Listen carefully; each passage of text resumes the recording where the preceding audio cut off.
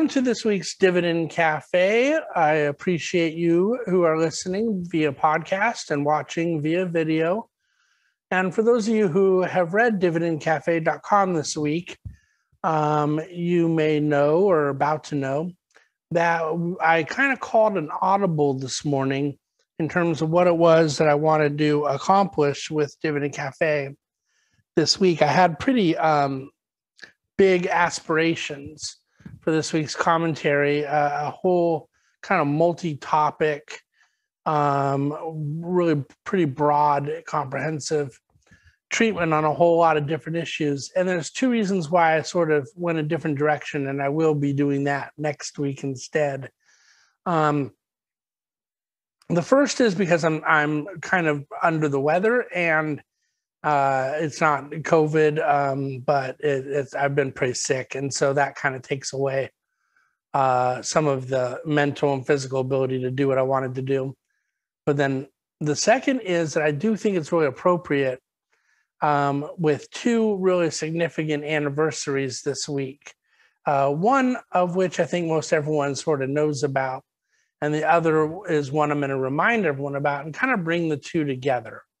And, and I believe that out of that, we'll have a really useful investor application. And hopefully, you'll feel like you got your money's worth out of this week's Dividend Cafe. Since the subscription price is free, I feel pretty confident that you will feel that way. Um, we when I say the first anniversary, most people know about. I alluded to March 11th in the DC Today the other day, and that was um, a reference to that that evening. March 11th was a um, a Thursday this year, but it was a Wednesday last year. And it was that Wednesday night that uh, the World Health Organization officially declared COVID to be a pandemic, a global pandemic, and that the NBA season was suspended. Uh, Tom Hanks famously announced his COVID diagnosis, he and his wife. And President Trump did an address to the nation um, the, from the Oval Office where he stated that there would be no more travel uh, in or out of Europe. And so it was really quite uh, uh, emotionally powerful and significant evening. And, and the next day, um, the market dropped 2,000 points. It had already dropped 2,000 points another day earlier in the week. And it had already been down 4,000 points over a couple weeks before that. So we were in kind of a free fall in markets. But right now, I think I'm focusing on the greater kind of one year remembrance of where things were. Because as I'm recording this on Friday morning, I think back to the Friday of this weekend a year ago, and there was there was a lot of just crazy things going on, but we just did not know how crazy, what it all meant. On the um, Thursday of the market dropping that 2,000 points, the day after President Trump's famous address to the nation, um, on that on that Thursday, um, I had walked to CNBC, uh, their Times Square studio, for an appearance that they had booked me on early that morning before the market was to open. And I arrived as security at the front gate that wouldn't let anyone in and they and they announced that they decided no people could come inside anymore. I said, okay. And they asked me to walk across the street to this little diner that is sort of like one of these diners that people go to after Broadway shows.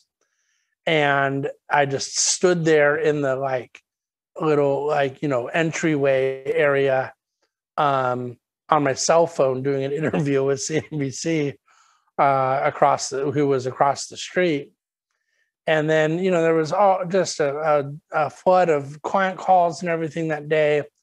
And i had a really lengthy dinner meeting that night with two gentlemen who are really um, dear friends of mine but very respected economists and thought leaders in their own right and really tremendous sources of analysis and perspective for me so it was timely that we were all just there together kind of speculating as to what the political ramifications were going to be, the economic fallout, trying to wrap our arms around what was going on.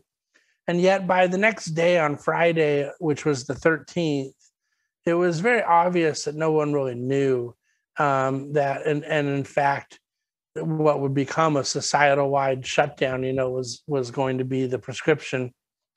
Uh, so my wife and the two kids we have that are in school in New York, we all jumped on a plane that night and flew back to California in the middle of the night. And then that weekend was just really kind of awful. One of our partners uh, at the Bahnsen Group, his spouse contracted coronavirus, and obviously we are all kind of worried about her and her recovery. And was, and she she ended up coming out fine, but that was like sort of the first person that we knew real well who had gotten it. Since then, like a whole bunch of people have got it and, and recovered, you know, very quickly. But um, there was just a whole lot of really traumatizing events and stressful uncertainties that were playing out. And then that Monday, the 16th of March, was the worst day in the market since Black Monday. The market was down 3,000 points. And, and in, a, in a way, that's when I knew that the market pain was almost over. I didn't know exactly when, but it was very clear to me at that point the market was not at that point pricing in its anticipation of a compressed economy and, and contracted corporate profits. It had gone far beyond all that, but rather was just in the midst of a um, national margin call was the term I used on a on a national client call I did the next day on March 17th and we in a levered financial system we were just seeing that great unwinding. And uh, it ended up playing out for the next week but it was um, um, the march 23rd which was the following monday the market would end up hitting its bottom through this period and i'm not going to go through and rehash all of the post-covid stuff because what's so interesting is that the market's story in this as far as the bottoming ends in March. And yet the COVID story still hasn't ended. Um, now, there's a lot of it that I think has ended that others don't. And I and I won't get into what I mean by that, but I mean something. But what I what I guess what I mean is there's still lack of um, made large crowd events and and a very very compressed level of travel and Oh, um, restaurants not open or fully reopened, and a significant part of the of the labor market that is not restored. So it's been a full year, and we're still living through this moment. And and so the only part of it that we can look back on and talk of it as if it were a past event is the stock market side. But when you look into the politics of it, President Biden just gave a speech last night. Um, the the the vaccines are, are working their way rapidly through the population. Um, it's it's a bizarre a bizarre year and a, and a bizarre event in our country, and and yet standpoint in that moment a year ago, faced with really great uncertainty and uncertainty that would in fact play into more uncertainty about economic opening and and so forth. Um, I've said it over and over again, but the part that really allowed the market to recover out of its initial distress was that it took its medicine quickly on the delevering and then the tremendous corporate liquidity facilities that the Fed provided. There was ample amount of money to be sloshing around. Um, the market loved the the Fed stimulus, but then more importantly, the market realized that the pandemic was going to be awful. And it didn't necessarily know how many lives would be lost, but it became very clear that um, somehow the uh, there was a targeted and identifiable vulnerability in the population, and and that, that could be better isolated as opposed to some of those early projections of two or three million um, Americans that could die quickly, of of hundreds of millions of people worldwide. And and and so I actually think a whole lot of things have been a surprise along the way too. But this was this was quite an experience a year ago, and I know all of you lived through it, and I lived through it, and and I'll never forget it. I'll never forget any of the details of it. I'll never forget what uh, where I was, who I was talking to, at what time of day on each day. Um, this is like vivid memories for me, and and most of them pretty unpleasant ones. And then I think back to the other anniversary of this week. Um, March the 9th of 2009, so we're talking about 12 years ago, represented a generational bottom in the stock market. The COVID moment lasted about 30 days in the stock market. It was awful, about 30%. But the um, the financial crisis moment lasted about 18 months in the stock market. And it wasn't just the stock market, it was housing, it was credit, it was banking, it was the entire global financial system. It was existential. And I, I think that, uh, and the market not only went down over 50%, um, you know, the Dow for about five minutes touched the low 18,000s um, in the in the bottoming of March last year, but in in 2009 it touched in the 6,000s. And so even the bottom from COVID was triple from the um, from the uh, bottom from the financial crisis. But the market's now up 481%, give or take a couple points, um, since that March of 2009 moment. And yet, at that March of 2009 moment, we um, there was a lot of Fed support, um, but there was significant governmental corporate, and most importantly, household leverage that had to be worked through, delevered, and and and uh, policy prescription became to try to relever corporate balance sheets, even as household balance sheets delevered.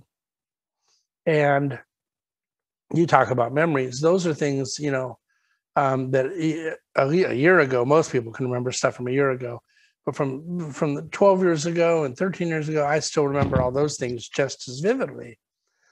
But you know i remember uh, i was at an economics conference in palm beach florida at the breakers hotel. I had been on a panel that morning and then i was sitting in the audience for another um, speaker with my computer just sitting there trading and just seeing all these stocks that were washing out and and they were hitting numbers that they would never see again. And and it was a very different business then but i was you know as wherever i had cash and client accounts i was trying to buy. And and i did not do that on that day knowing it was the bottom but i i certainly knew as the march moment from covid a year ago there was there's always this moment where you feel like that capitulation is near and you don't want to pick an exact bottom but um, because you can't but you you can tell from the psychology of the moment, the technical pressures of the moment, and and what is put uh, generating that market activity that that you're close.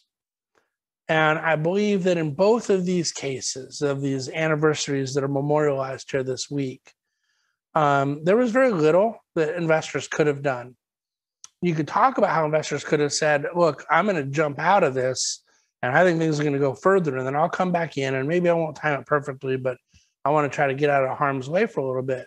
But you got to remember, a year ago, the market dropped 2,000 points on Thursday, March 12th, and then it was up 2,000 points on Friday, March 13th. And it was down 3,000 points on Monday, March 16th. And I believe it was up, if I remember correctly, 1,000 points on Tuesday, 17th. So you you were at risk of of significant uh, of for of forfeiting significant recovery based on on any kind of idea of trying to exit with things and even when i talk about from october of 07 to march of 09 that it was this 18 month long bear market and financial crisis and all this stuff. But there were periods of significant market rallies including days where the market would go up like a thousand points and back when that was you know even more meaningful percentage wise so i say all that to say that um, there's a lot of history in being a stock market investor because there's a lot of history in being alive on planet Earth, and stock market investors get to capture a lot of that history, a lot of the things that happen here on Earth, the COVID pandemic, the financial crisis. These are moments in time that even if one is not in the stock market, they have profound impact. And, and the lessons out for investors are just never going to be different. Well, before these events, these moments take place, uh, uh, asset allocation should be constructed that is a byproduct of a holistic client profile, an investor objective, a very detailed, specific understanding of what they're trying to accomplish given certain liquidity constraints, risk, bandwidth, comfort level, tax ramifications, all sorts of other things that can play into what the proper construction of a portfolio is. And then in those moments, and they're not they're not if, but when moments. You don't know it's going to be September of 08, and you don't know it's going to be Lehman's downfall. You don't know it's going to be March of 2020, and that it's going to be a, a global COVID pandemic. But you know there's going to be these things that happen. And to have the discipline to maintain the plan and, and be rewarded through time for your patience, sometimes very quickly, sometimes longer but it always seems to work out for those that that follow that right playbook. And this is something i'm using two examples in more modern times but i, I can go back full 100 years with similar tales. So um, that's my lesson in this week's dividend cafe. Um, i don't think anyone looks back to the events of a year ago fondly hopefully now they feel the society reopening they they have their restaurants in town opening up. You're going back into your offices. People in your town are going back into their offices. People are willing more and more to actually re-engage into society. Uh, the vaccinations are are proving to be one of the most successful endeavors um, that we have seen in the post-war era, and and all that's really positive. And and so there's plenty of bad memories, but there's plenty of silver linings through all of it and and we try to learn what we can from these tales of history. Thanks for listening to this. I hope you've gotten something out of it. Um, I really always do enjoy kind of reminiscing about some stuff, even some of the bad memories, because I'm one who tries my very best to learn from history. But um, if, if, I felt a little better, I'd probably unpack it even more. But honestly, um, I'm looking forward to next week's Dividend Cafe. I hope you will too. Thanks so much for listening and reach out with any questions as always.